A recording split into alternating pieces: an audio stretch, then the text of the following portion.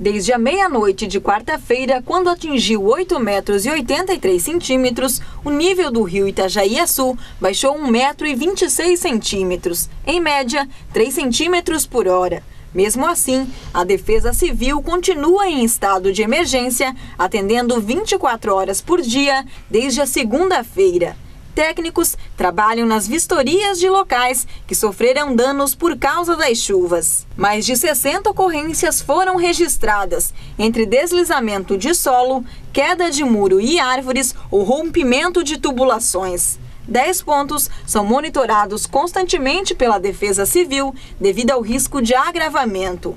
Mais de 10 residências foram desocupadas ou interditadas porque correm o risco de desabarem.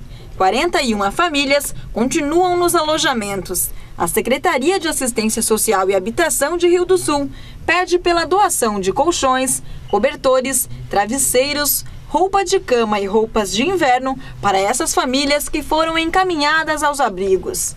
Alguns pontos que estavam interditados aqui na cidade já foram liberados para o tráfego de veículos. Na Barra do Trombudo, a Estrada da Madeira está com o trânsito liberado, assim como na localidade de Ribeirão do Tigre. O acesso ao bairro Fundo Canoas ainda deve ser feito pela BR-470, pois existem pontos de alagamento na região.